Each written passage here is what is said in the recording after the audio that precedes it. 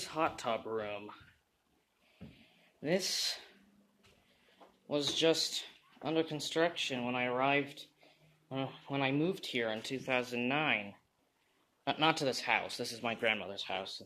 But still, when I moved to this general area in 2009, this hot tub room was just under was just under construction. The paint was not there yet. There was a bunch of holes in the walls. The windows weren't there.